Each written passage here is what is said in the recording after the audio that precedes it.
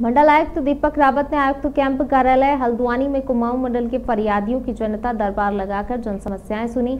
जनता दरबार में फरियादियों ने पारिवारिक विवाद टीसी निजी भूमि विवाद, राजस्व सड़क, विद्युत रोज़गार, आपदा, पेयजल सहित तमाम शिकायतें दर्ज की गई हैं। इस अवसर पर मंडलायुक्त ने पूर्व में जनता दरबार में आई शिकायतों के प्रकरण के संबंध में शिकायतकर्ता और अधिकारियों को बुलाकर समस्या का समाधान किया। आपको बता दें कि आयुक्त ने नहर मामले को लेकर मुख्य अभियंता सिंचाई से बात कर बताया कि नहर की मरम्मत के लिए लगभग पाँच करोड़ का एस्टीमेट शासन को भेजा गया है।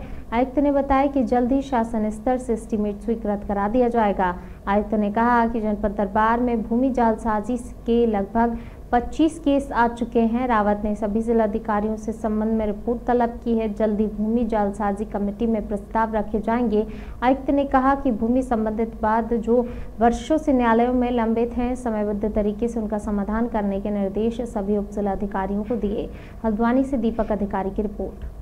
ज़्यादा पानी जाके एकत्रित होता है और वो एरिया डूबता भी है। तो इसको सॉल्व करने के लिए तो पहले से ड्रेनेज प्लान हमारा वर्तमान में विचाराधीन है।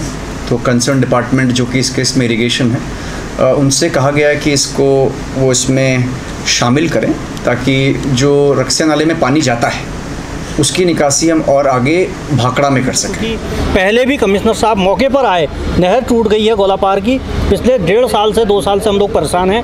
यहाँ इस साल तो एक तो बारिश नहीं हो रही ऊपर से ऊपर से नहर टूट गई है। हम लोगों किसान जो हैं जितने भी किसान हैं गोलापार में धान रोपाई से लेकर के सिंचाई तक के लिए नहर का पानी पर्याप्त मात्रा में नहीं मिल रहा। हमारी खेती चौपट हो गई है। और आज हम वार्ता करने भी आए इस विषय में क्योंकि हम कतई भी विकासखंड अपने ग्रामीण क्षेत्रों में अतिक्रमण बर्दाश्त नहीं किया जाएगा। और ग्रामीण क्षेत्रों में इससे बहुत दिक्कतें आ रही है। वन पंचायत की ज़मीनें और अन्य जो अवैध जो रूप से जो कब्जा किया जा रहा है और उस पर अतिक्रमण और निर्माण कार्य किया जा रहा है। भारी व्यक्तियों द्वारा इसका हम पुरजोर विरोध करते हैं